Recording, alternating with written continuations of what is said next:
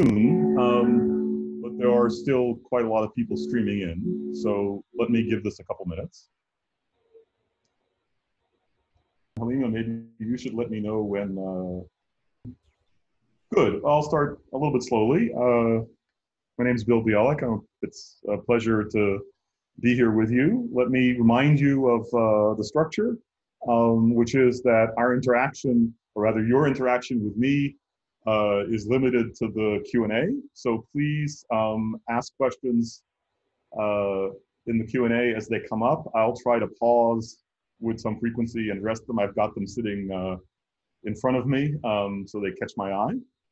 Um, and our topic for today is uh, doing statistical mechanics for, for biological systems. And I want to emphasize that the, the strategy that we're going to take is to try and do statistical mechanics directly uh, on real biological systems.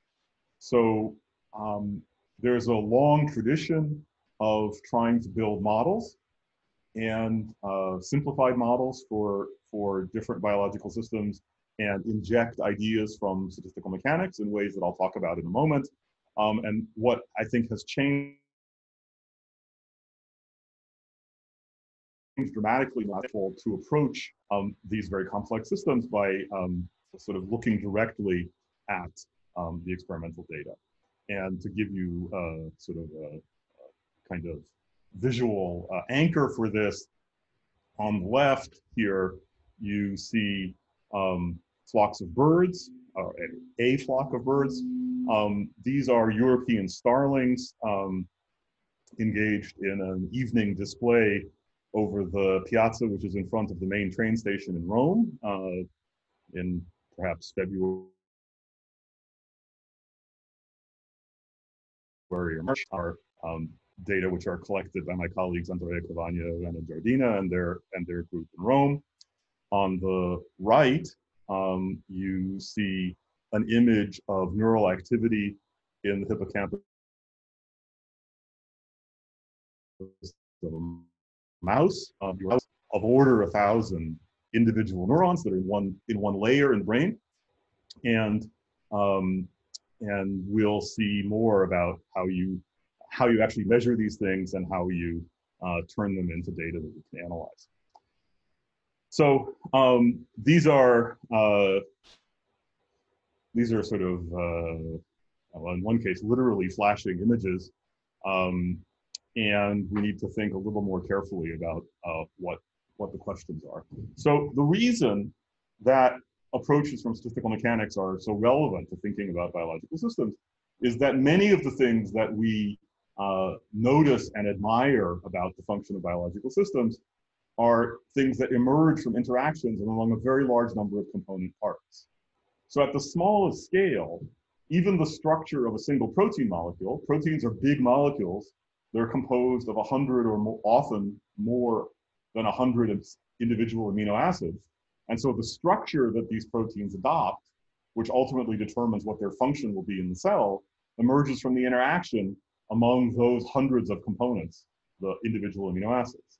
Similarly, if you think about what happens to a cell in a developing embryo or even in a fully developed organism, why is that cell doing its particular job as opposed to the job of some other cell? What's different about a cell in your brain and a cell in your liver?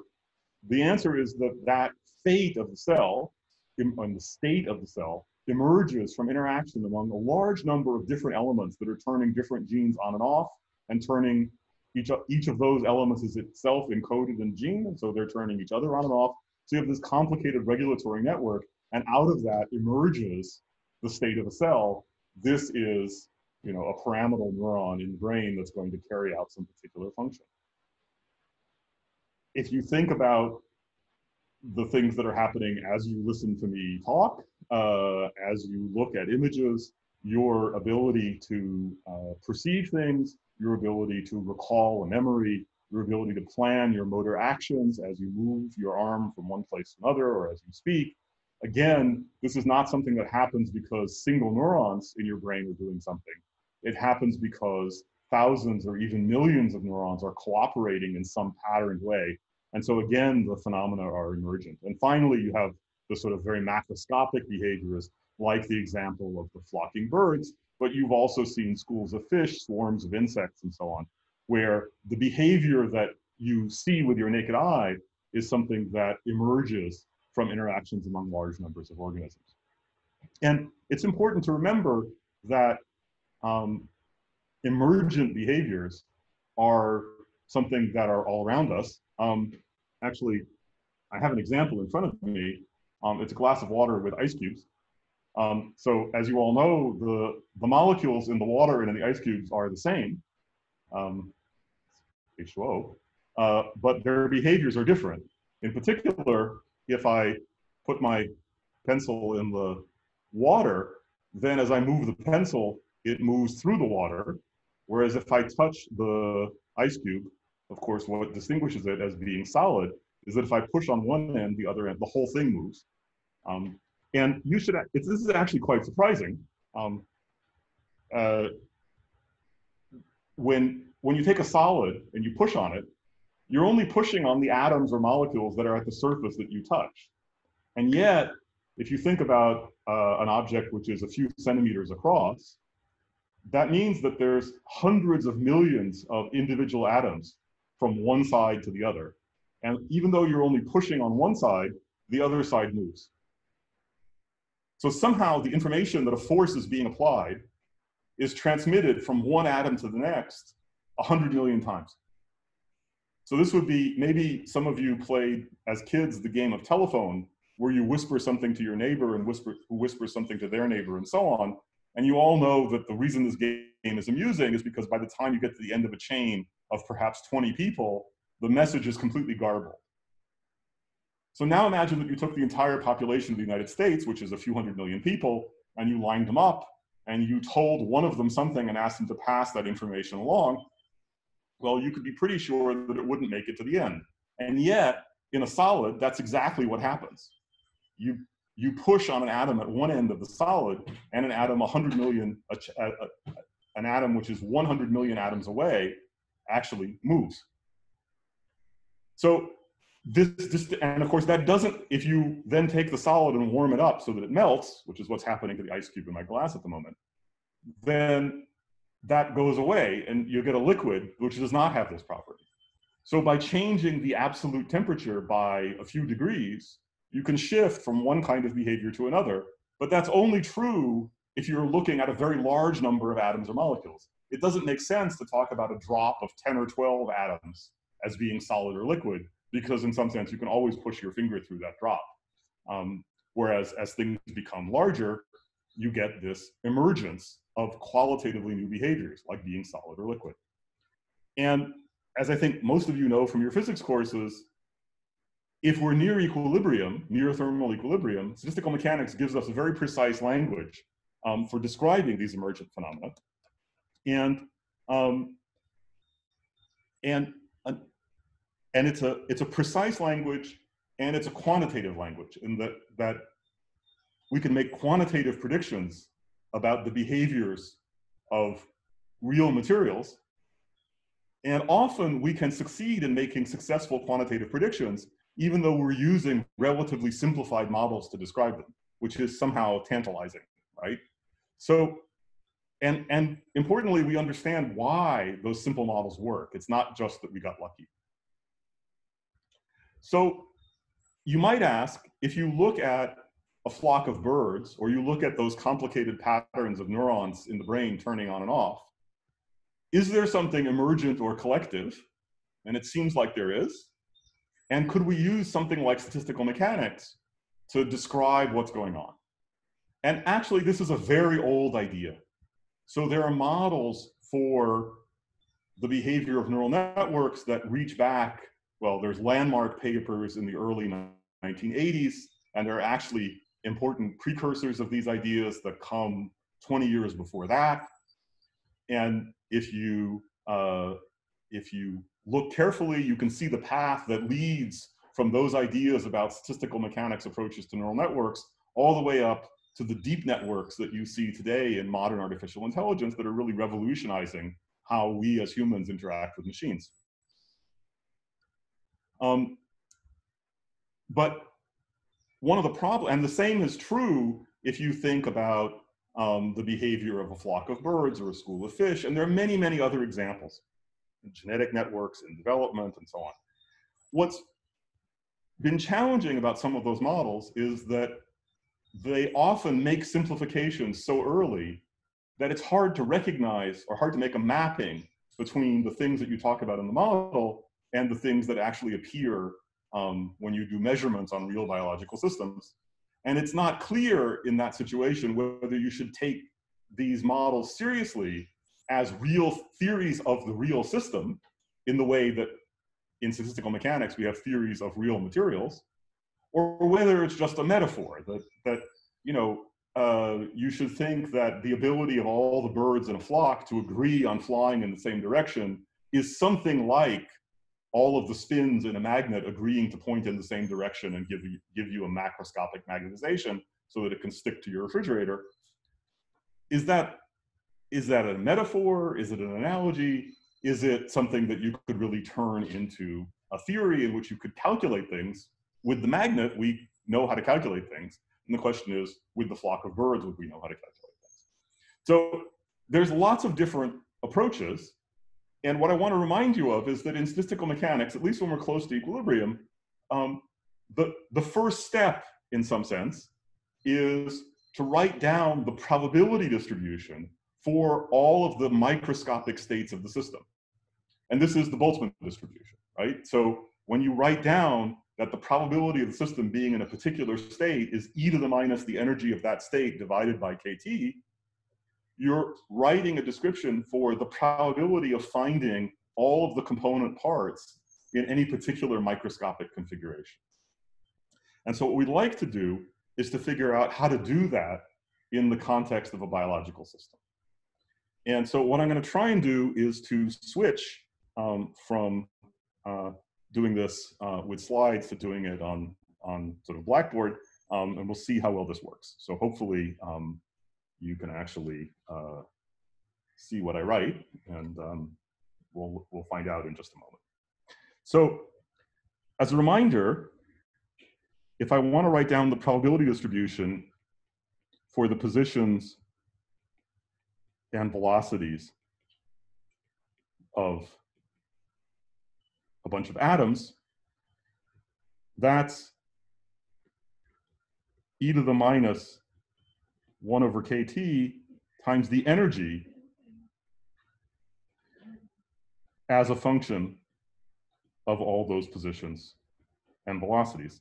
And if I, if instead of writing a little squiggle, I want to write an equal sign, I put a constant out in front, which is called the partition function.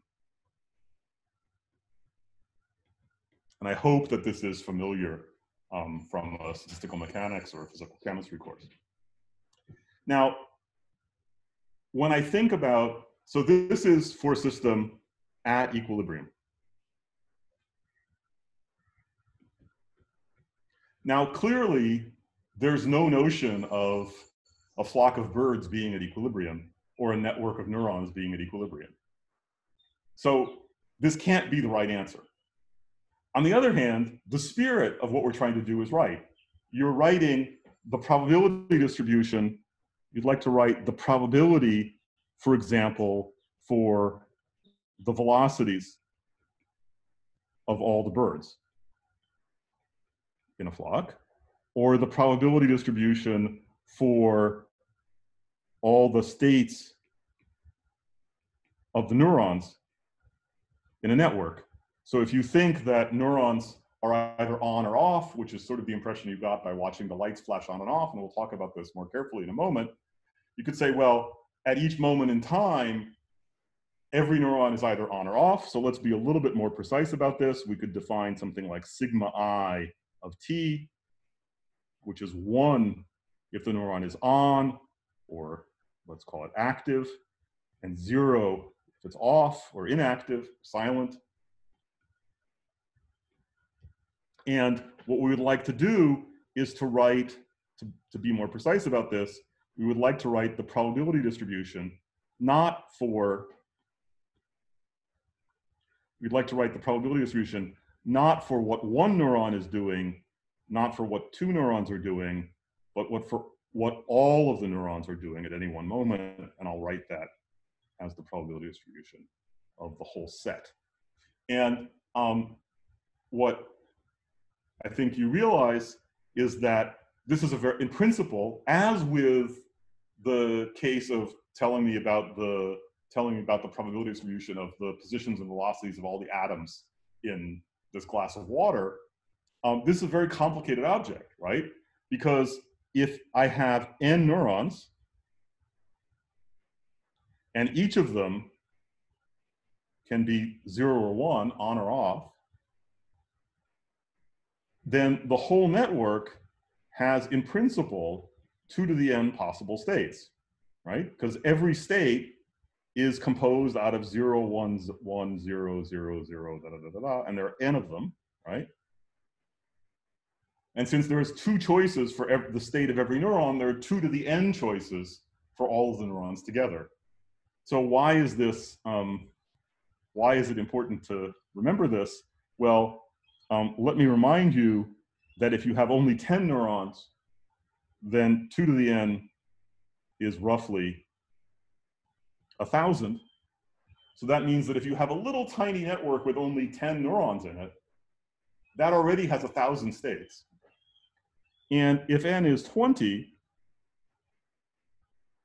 then 2 to the n is a million. And by the time n is 100, 2 to the n um, is 10 to the 30th. So that means that a relatively small network of neurons in the brain has a literally astronomical number of states. In fact, if you get to 300 neurons, the number of possible states is larger than the number of elementary particles in the universe. So it's kind of beyond astronomical. So that means, importantly, that you can't, in any sense, measure the probability distribution. Right? If I want to tell you the probability distribution, I have to tell you what is the probability for every single one of those 10 to the 30th states. So it's a list of 10 to the 30th numbers. There's no experiment you're going to do that's going to measure 10 to the 30th numbers. So how, how do we proceed? How is it that we don't get stuck in this problem, for example, when we're trying to do statistical mechanics? Well, when we try to do statistical mechanics, Boltzmann tells you, so in equilibrium, what Boltzmann tells you is that the probability just depends on the energy of the system in some units which are related to the temperature. So that's a huge simplification. Where does this simplification come from? Well, it comes from the fact that in equilibrium, right, you'll remember that because that the second law of thermodynamics says that the entropy of the world is always increasing. And the only way that that can stop is if it comes to its maximum possible value. So what characterizes the equilibrium state is that it's a state that has maximum entropy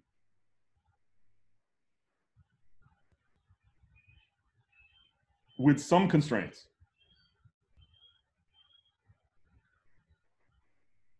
And the simplest one is that the constraint is just that I tell you what is the average energy of the system. And if I ask you to tell me what is, so the thing you need to remember is that the entropy that appears in thermodynamics is also a quantity that you can define for the probability distributions that you look at. So um, you remember that entropy has a thermodynamic meaning, which is related to heat flows. But it also can be thought of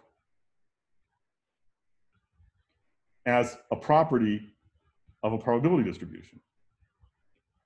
And the thing that we call entropy, we usually write as S, and it's minus the sum over all the possible states. Actually, let me call it um, let me be a little more careful here. Um, it's minus the sum over all the possible states. Let me stick to this same notation.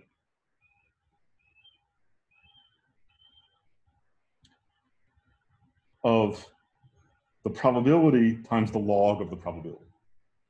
And it's also true, this entropy, which came from thermodynamics, has these multiple meanings, which is, I think, one of the um, so one of the things in, in physics that I find most fascinating is that this same quantity appears in so many different contexts. So there's the entropy, which is the thing that keeps track of heat flows, right? You write that ds is the heat flow divided by the temperature. And that's the thing, that entropy is a function of state and it's always increasing. And so this is the connection to thermodynamics. Then we learn from Boltzmann and Gibbs that you can think about the probability distribution over all the microscopic states of the system. And this gives you uh, a way of computing the entropy in terms of that probability distribution. And then in the middle of the 20th century, we learned from Shannon that, that the entropy also tells you something about the information content of a system. So if I ask you to look at the gas in this room and, um, and tell me, um, ah, sorry, um, somebody already asked. Uh,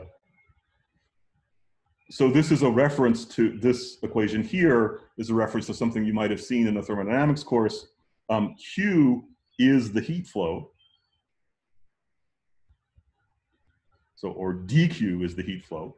So um, you maybe remember from thermodynamics that, that, um, that uh, as you're watching heat flow in and out of a system, if you try to integrate all of the changes and talk about the heat content of a piece of matter, that doesn't work. Whereas if you take the heat, little differential heat flows in and out of the system and always divide by the temperature at the time when the heat is flowing, then that quantity can be integrated up to give you a function of the state of the system, and that's the entropy. So entropy first appears in thermodynamics as a kind of bookkeeping device to keep track of heat flows. I hope that answers um, Lou's question. So, so there's the entropy which emerges from thinking about heat flows. That's the first one. There's the entropy that emerges when you think about probability distributions. There's an entropy that emerges from trying to ask how much information do you gain if I ask you, if I give you the gas in this room or the molecules in that glass of water, and I and you ask me what is the microscopic state? Tell me the positions and velocities of all of the molecules. And you have the intuition that if I give you the answer to that question, you're gaining information about the system. So how do I attach a number to that gain in information? And it turns out that in 1948, Shannon proved a theorem, which is that the only way of attaching a number to that notion of gaining information that's consistent with some very simple requirements is to actually compute the entropy of the probability distribution. And then the other thing you can ask is, how much space does it take to write down the information?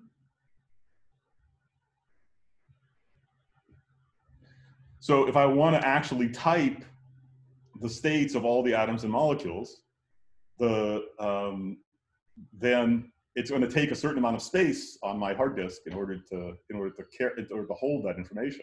And if I want to measure that if I want to measure that space, more precisely, I want to know what's the minimum amount of space that you need. The answer is again the entropy. And astonishingly, these are all the same quantity. And in principle, they are answers to totally independent questions, but they are, in fact, all the same. And I think that's one of the sort of deeper examples of the kind of universal um, character of, of arguments in physics. Um, so uh, it's not true that every, um, so uh, questions are starting to accumulate. So it's important that in this discussion, you do not assume that every microstate has the same probability. In fact, in the Boltzmann distribution, they don't, right? The microstates of the universe all have the same probability, but the microstates of the system that you're looking at actually don't because they're exchanging energy with a bath that's around you. This is a very basic statistical mechanics.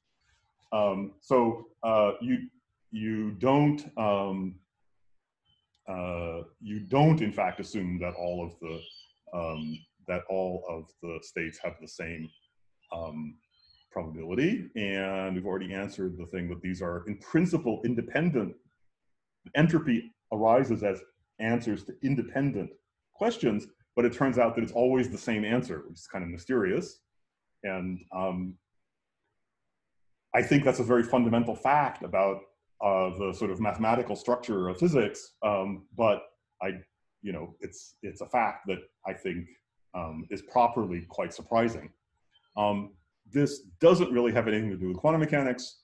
And now the question is about the principle of maximizing the entropy. So when a system comes to thermodynamic equilibrium, because of the second law of thermodynamics that tells you that the entropy is always increasing, you know that equilibrium is a state where the entropy is as large as possible. But because we know that you can also think about entropy as the available information, right, here, there's another way of thinking about what it means to maximize the entropy. And that is that you're trying to build a description of the system in which you put in as little information as possible. So remember, entropy is the information which is available to you if I told you what the microscopic state was. So since I haven't told you the microscopic state, if I make a probability distribution which has a very large entropy, that means that it has many, many microscopic states available to it. And by maximizing the entropy, I'm putting in as little information as possible. So what's happening here, ah, sorry, um, I'm gonna have to um, interrupt my screen sharing for a moment. Um, hopefully this comes back. Yeah, um, good. So when I maximize the entropy, what I'm doing is I'm maximizing the available information, which means that I'm minimizing the information that I put in this, to my description. So in some sense, if I say that P is a maximum entropy probability distribution, it has as little structure as possible.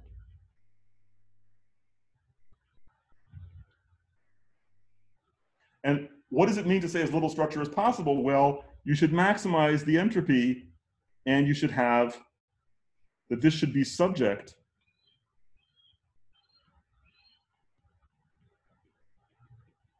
to some constraints.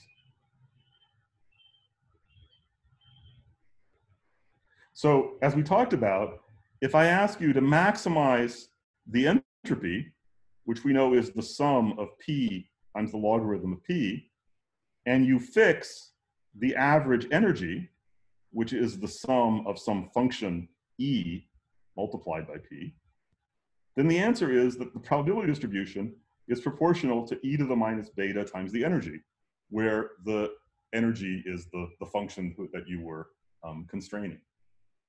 And then this generalizes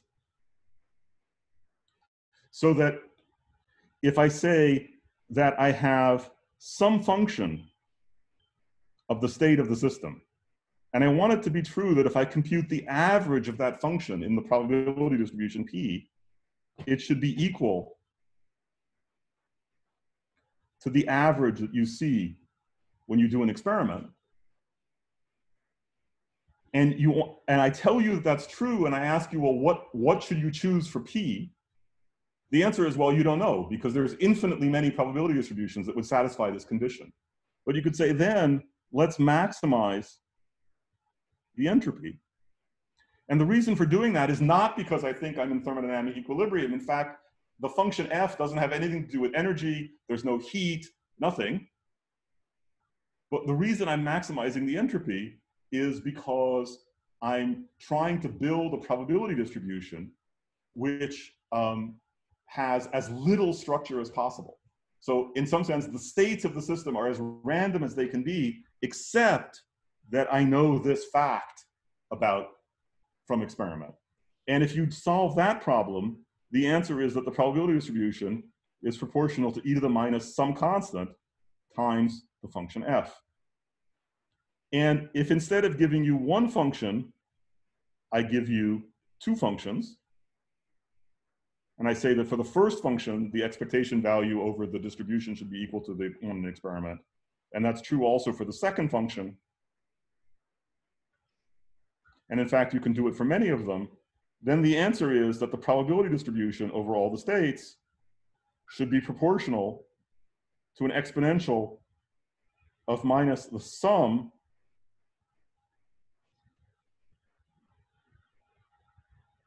of all these functions with coefficients lambda. And as I think you talked about in, in the discussion this morning, the um, coefficients lambda have to be chosen so that these expectation values come out right. Okay? So this is the idea where if now I can measure these properties, oops, sorry, um, if I can measure these properties of some particular biological system, I can use my measurements to try and build up an approximation to what the probability distribution over the whole system looks like. So that's the idea.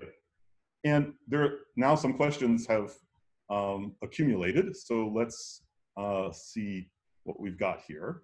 Um, what's the relation between the information and the entropy? Well, so there's the entropy that arises in thermodynamics.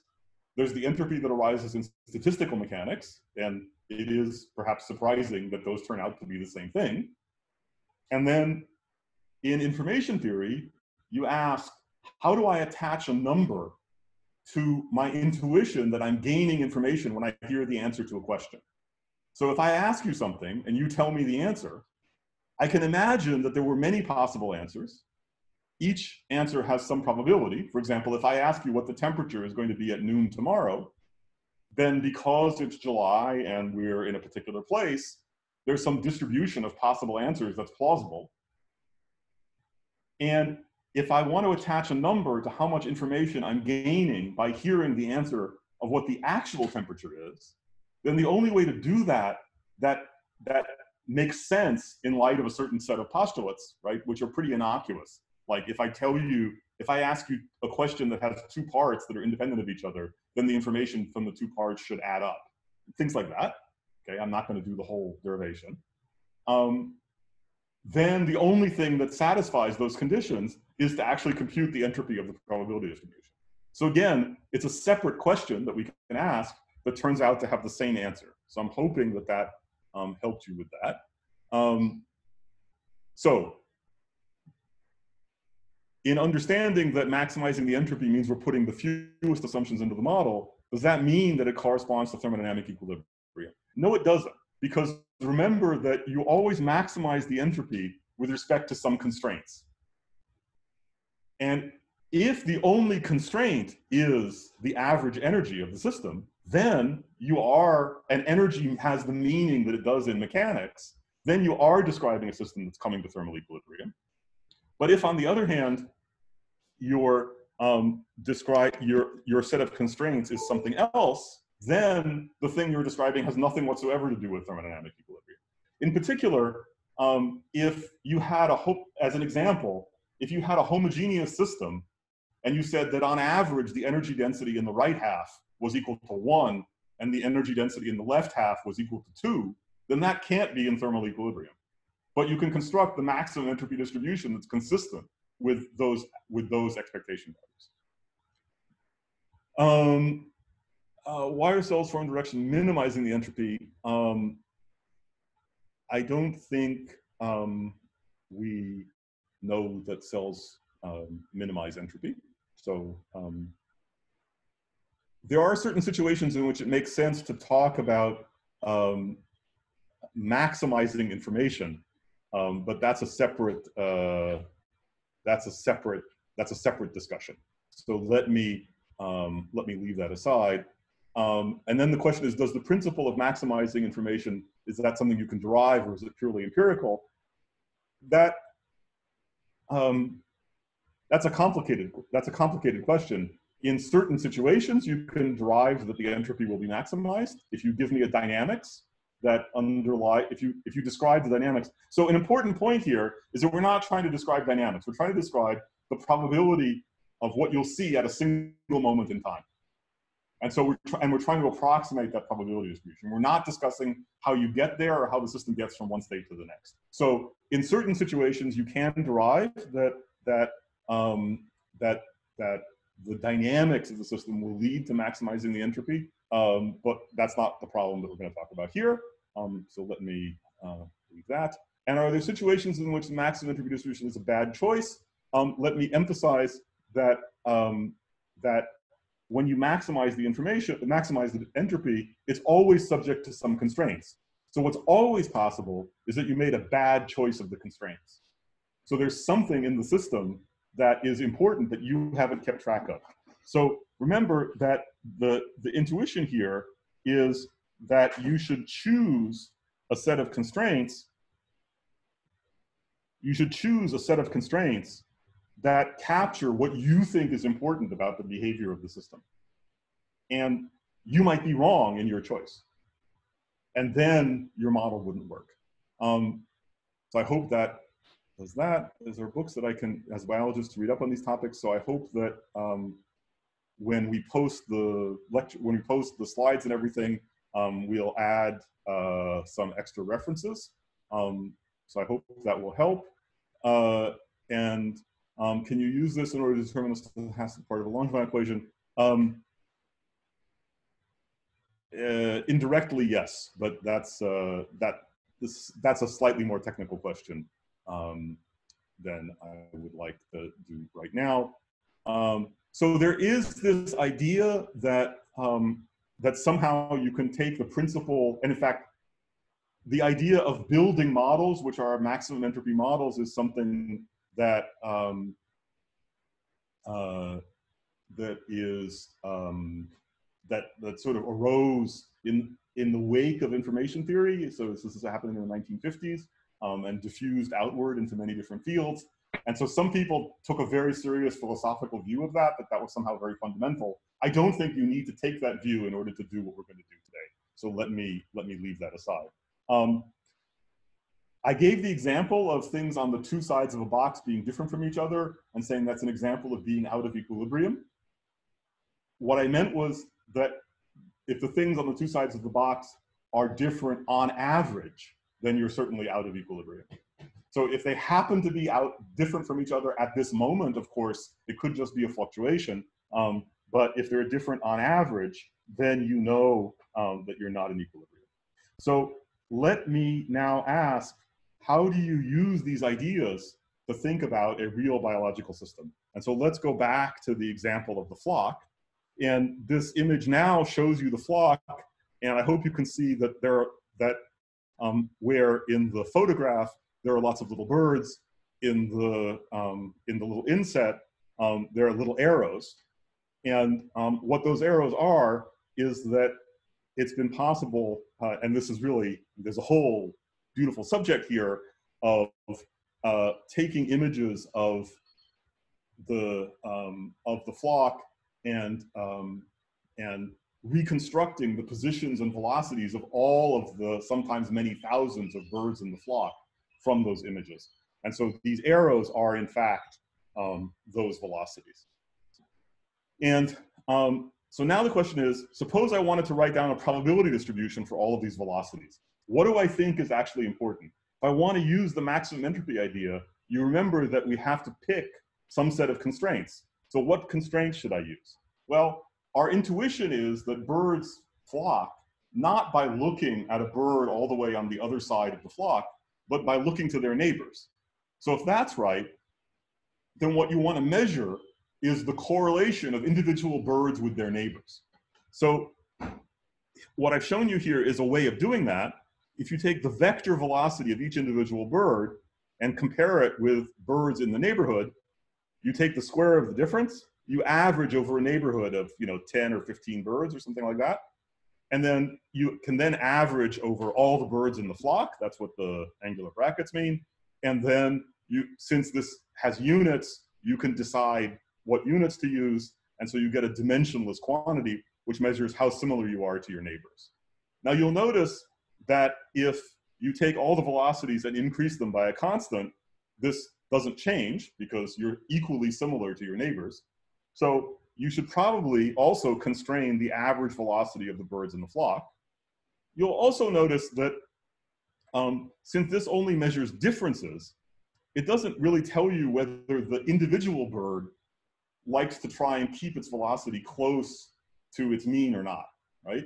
So the, the, the value of Q is telling you how similar birds are to their neighbors. But you can imagine that every bird also knows, ah, I'm supposed to fly at, um, you know, three meters per second, so I should try and hold to that velocity. And so you might want to measure the variance of the, um, of the velocity around that mean. So this is a relatively simple theory. It says that the distribution of velocities of the birds in the flock, and remember, this is the joint distribution. So this is a probability distribution for the velocities of thousands of birds.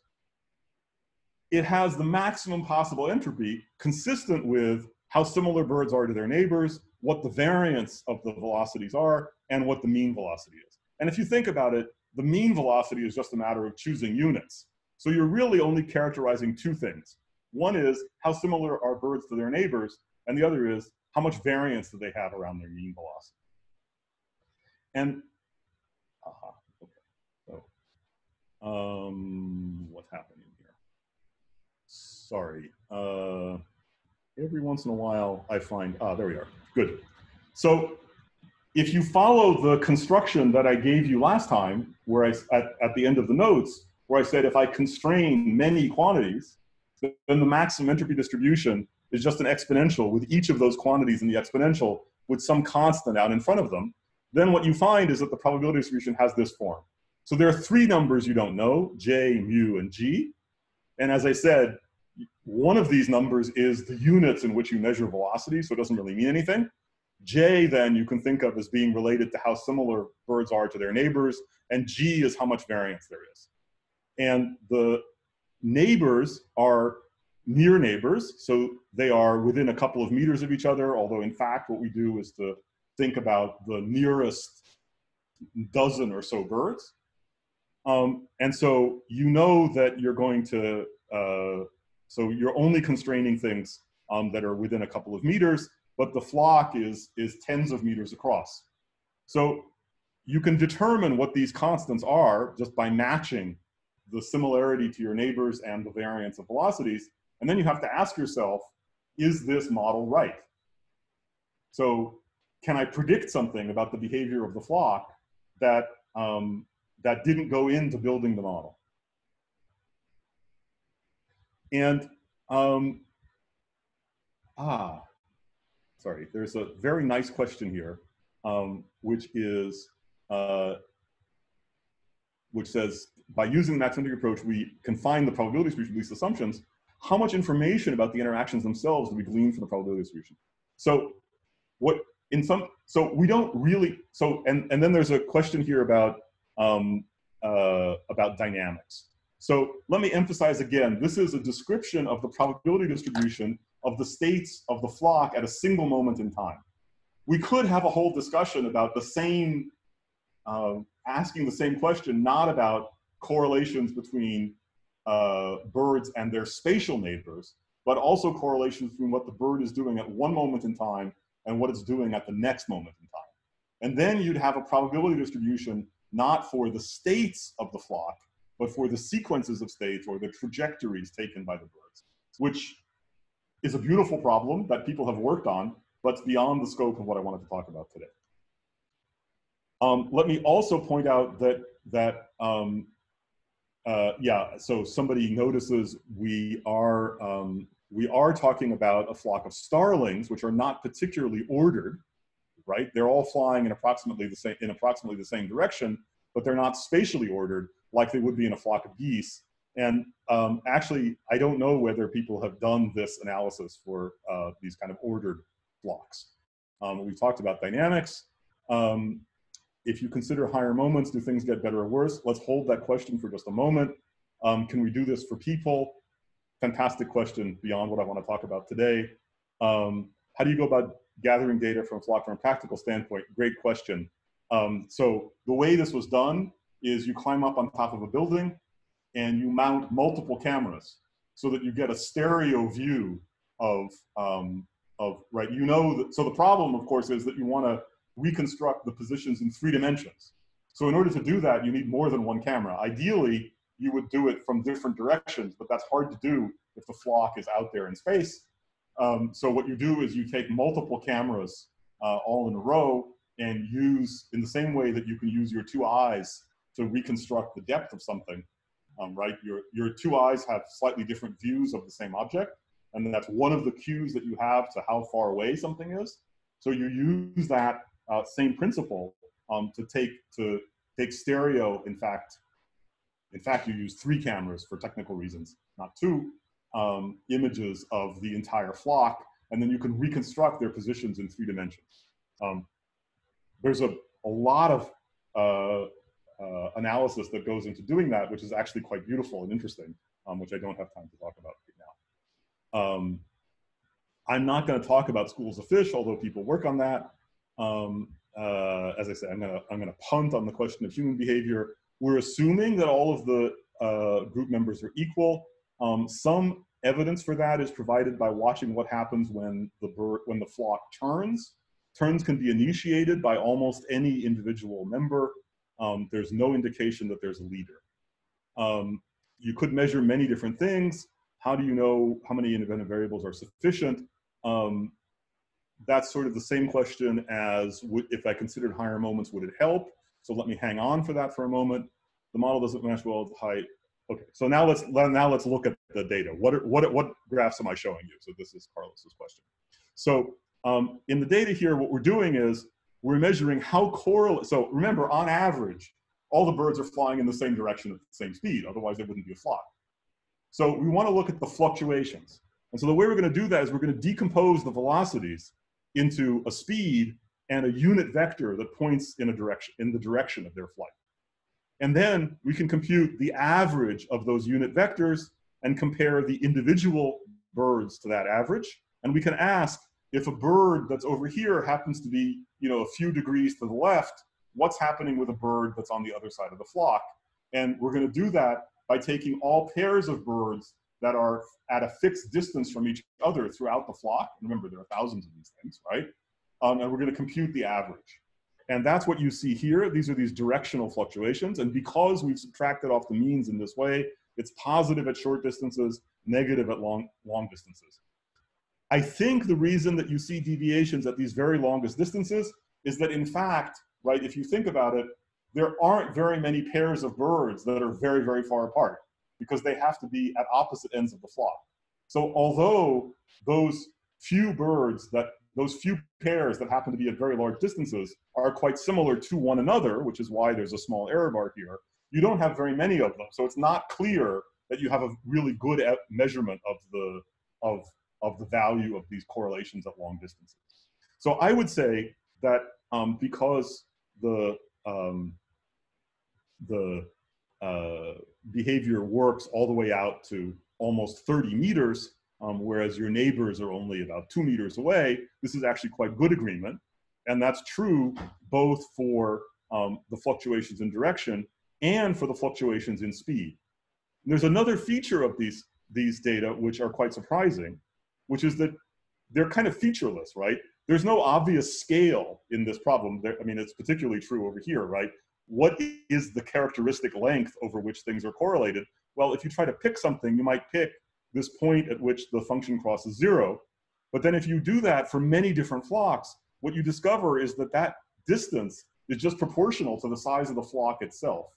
So you might have thought that birds, since they only talk to their neighbors, that information would only propagate some distance throughout the flock. And as a result, there would be a scale on which the correlations fell to zero. And that turns out not to be true, that, that actually they propagate throughout the entire flock. And remember, this isn't a statement about the fact that they're on average, they're moving in the same direction. This is a statement about the fluctuations. And so let me actually finish um, uh, this idea and um, then I'll come back to the questions. And I think realistically, I'm not going to get a chance to tell you very much um, about neurons. Um, I'll try to say a few words at the end. Um, so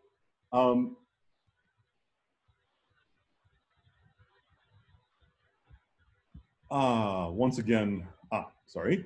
Um, let me uh, go back to sharing my screen. Sorry about that. Um,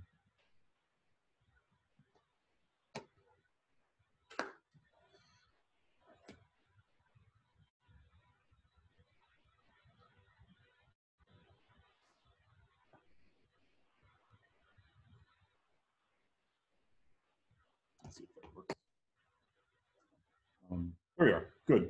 So what you saw was that that that the correlations really are almost featureless, right? There's no characteristic scale. So you might ask, well, what is it about the model that that that caused that to happen?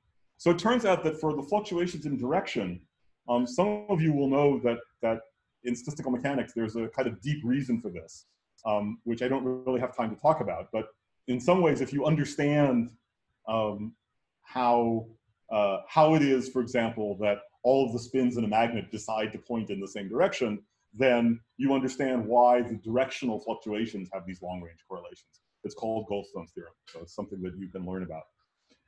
The situation for speed is much more surprising. So you'll remember there are basically two parameters in our description, one of which was J, which was related to how similar you are to your neighbors, and the other was G, which is the variance of what the individual birds are doing around the mean. And so you can imagine reaching into the model and dialing the change in, the, in changing the value of G. And as you do that, as you change the value of G, you change the variance of the velocity. So this intercept at zero of the fluctuations is the variance of the speed. And you can see that as you change the value of G, you always push this variance downward. And if you study the model at different values of G, you see that, for example, in here, right, there is a characteristic scale that, that the variance, so the short dis at very short distances, you see the variance, but then if you go to some characteristic distance, that has, fall, that has fallen by a factor of two.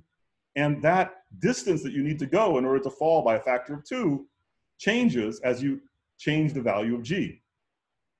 And that you also see it on the other side, right? That you don't see this, this sort of almost linear behavior of the correlations.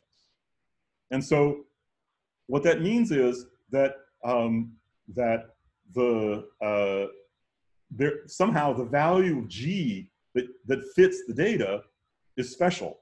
But it's important to emphasize that you don't fit these data with the value of G. The only thing you fit is the variance of the velocities. And so in fact, what's happening is that the variance of the velocities is essentially as large as it can be while still remaining correlated with your neighbor. And that's a very, if you think about the space of possible models, that is a very special place. And it corresponds in our understanding of equilibrium systems to a system which is poised exactly at its critical point in a phase diagram. So having arrived at a description of the system in terms of a small number of parameters, you can ask, how does the, how, what, what is the set of possible systems that you can generate by varying these parameters? And as you know, right, from the example of ice and water, as you change parameters, you can change from one qualitative behavior to another, from a solid to a liquid, from a liquid to a gas. You know that there are phase boundaries, and you know that there are special places which are called critical points. And this kind of scale invariance emerges only at the critical point. So what I hope you've gotten out of this exercise with the flocks of birds is the idea that by trying to describe the flock, I've built a model which is in which I take a very small number of experimental facts about the system very seriously and try to match those perfectly. And then for other than that, I insist that the probability distribution have as little structure as possible. Despite the fact that I'm only taking a very small number of features of the data, I can predict all sorts of other features of the data and I get them right quantitatively, as you see from matching this entire correlation function over an order, an order of magnitude in separation of the birds. And as you could see if you looked into the paper that, that I suggested you read, in fact, you can even compute correlations among groups of four birds instead of pairs of birds, and you get those right too. So these very simple models really do work. And so let me, um, let me now uh, go uh, and look back at the questions. Um, shouldn't the correlations decay to zero um, at far distances? High negative correlations indicative of non-zero interactions. So uh, no. First of all, the way the correlation function has been defined, um, it can extend to large distances. It might or might not. That's an experimental question. The fact that you see non-zero correlations at very long distances is surprising. You're right about that. And you'll notice that we never introduced into the theory any long-range interactions. The only thing we did was match the short-range correlations.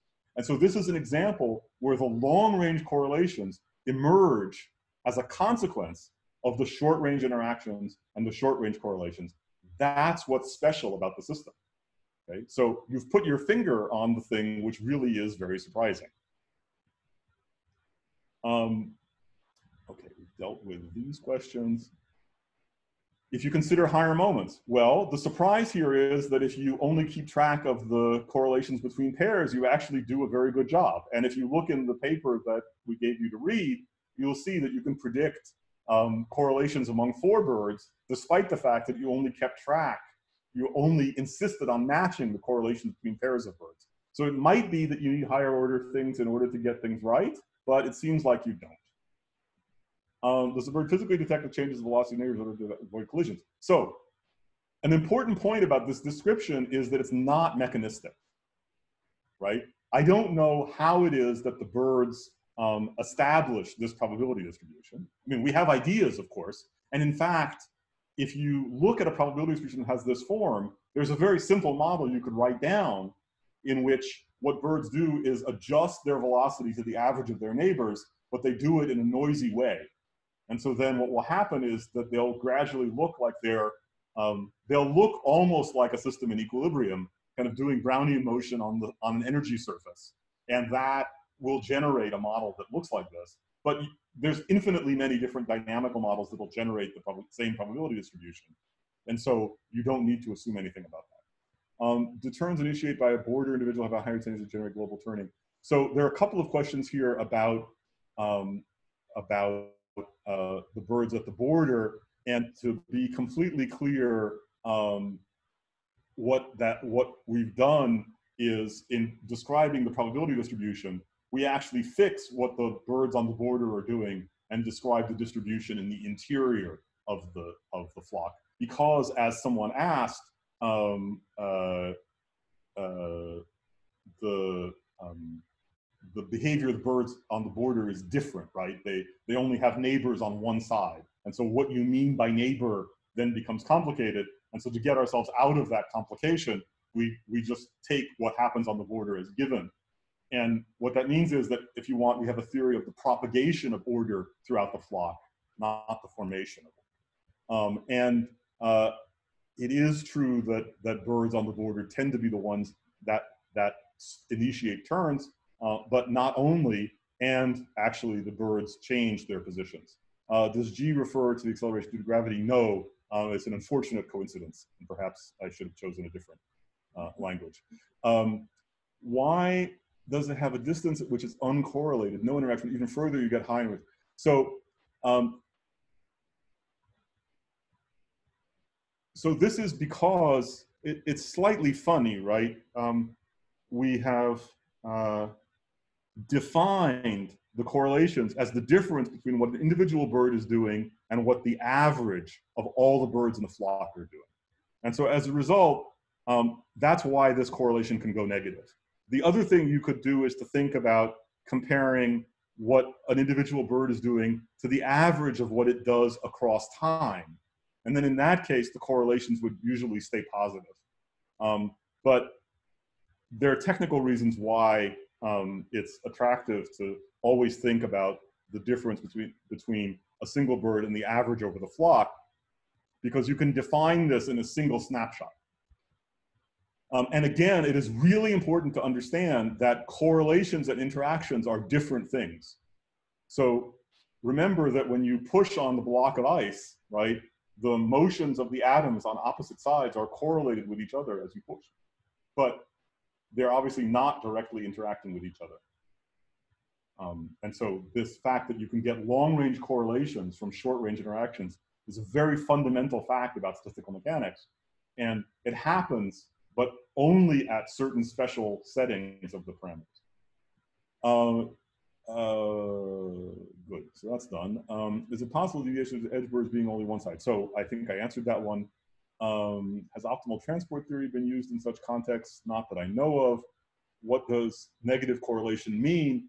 It means that if one bird is going faster than the average, the other one tends to be going slower than the average, right? So that's what negative correlation means. Um, and let's see, there's some more down here. You can measure many variables. So, right, we chose a particular set, and I hope you'll agree that in this case it turned out the agreement with, you could predict from that set many other things, but sometimes you find that your predictions are not so good, and that means that there must be something that you're missing. Um, I think that what's happening at very large distances, there just aren't very many pairs. Um, and, uh, um, and so that's why you see a deviation, but it's always possible that it's more subtle than that. Um, why is there, why are there different signs here? So here's a negative sign and here's a positive sign. Um, that's just so that the coefficient mu will also be positive because you want it to be the case that the average speed is positive. Um, and how can it the larger separation? We talked about that. Is there a risk of overfitting? There's always a risk of overfitting, but you'll notice that actually we only have two um, we only have two numbers that we actually have to determine from the data. And so the risk of overfitting is incredibly small. And if you're worried about it, you can always take the data, divide it in half, learn the parameters from half of the data and predict the other half, and it works just as well. Um, if different microscopic laws result in the same emergent phenomena, do basic principles exist? Um, uh, so let me get to that one at the end. There's a question about higher moments. Um, the example I was thinking about with higher moments is higher moments of the directional fluctuations. And because when you talk about direction, you're talking about a unit vector, even if the probability distribution looks Gaussian, when you talk about the unit vectors, you spoil that because you're always insisting that the norm of the vector is equal to one. How do you experimentally, um, uh, uh, let's see.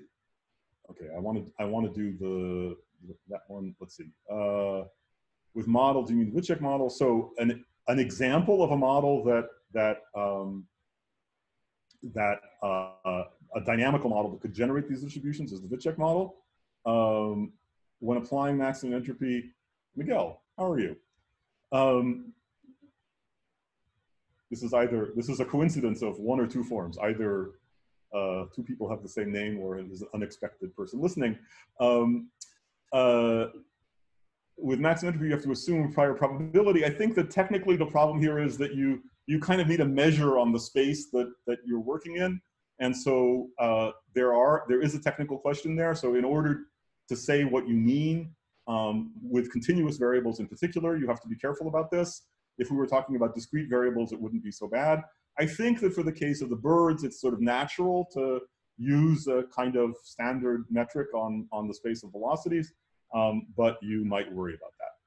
Uh, um, you can measure, uh, let's see. Uh, let's take only the open ones.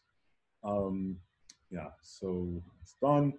Um, how do you experimentally measure the positions of velocities? I mentioned that. You do the, the stereo uh, thing. Uh, um, and uh, indeed, unfortunately, um, it seems that I did not plan as well as I should have, and so there will be not um, so much discussion about, there won't be any discussion about things in the brain, but I hope that the, that um, at least this part about birds was understandable. Let me, um, let me do the following, um, which is to point out that um, I'll post the, we'll post these slides. Um, the work on, on flocks of birds actually happened uh, sort of in interchange with the work on populations of neurons. And when we started, we were thinking about populations of neurons in the retina. And as we got the first results on using these maximum entropy ideas to think about populations of neurons, I learned about the things that my colleagues in Rome were doing with flocks of birds. And this has gone back and forth now several times, where I think it's exciting that the same uh, general mathematical structure gets used in both cases. Um, so uh, I had hoped to say more, um, but I don't think that I have time to do that. Uh, um, there's this wonderful question about whether, given that there are um, that many different microscopic laws result in the same emergent phenomena, are there really basic principles? I think that in many ways, the way in which we teach statistical mechanics hasn't caught up to our modern understanding that um, I think the elementary statistical mechanics courses that we teach in the physics curriculum, they, they sort of come as an appendix to, you know, they come after the quantum mechanics course, right? So you've learned that you can take matter apart and learn it's about its fundamental constituents and how the particles interact with each other and everything else. And then they say, well, statistical mechanics is how you build your way back to the behavior of matter that you can actually hold in your hand. And you're left with the impression somehow that the reason you get the behavior of macroscopic materials right when you try to predict it is because of your understanding of the microscopic structure and the fundamental interactions. I think that's actually not true. That, that indeed, as you point out, there are many different microscopic rules that can generate the same macroscopic behavior. And so what's fundamental or basic in that context is the, the way in which those finite set of possible macroscopic behaviors emerge from the different microscopic theories. And the fact that the mapping is many to one doesn't mean that it isn't interesting to know what really happens at a microscopic scale, but it does mean that what happens at a macroscopic scale is somewhat independent. And so the, in, in that sense, what happens at the macroscopic scale is as fundamental as what happens at the microscopic scale. in the present context, um, where we're talking about the flocks of birds, you'll also notice that the parameters, the, the thing that's happening at the macroscopic scale is actually quite special. You have these long range correlations that arise because the parameters of the system have been tuned to be close to a critical point. And that presumably arises from the microscopic level, what the individual birds are doing in a way that we don't yet understand. And so this issue of, of you know, what's microscopic, what's macroscopic, what's fundamental, what's, what's derived, um, is much more subtle, I think, in our modern understanding. Um, so I did not have a chance to talk about the, the second paper that, that I suggested that, um, that, that you look at. Um, if you read carefully in that paper, and there is also um, a, a, second longer paper, which is cited um, in, in the slides that, that, that I'm not showing because I don't have time,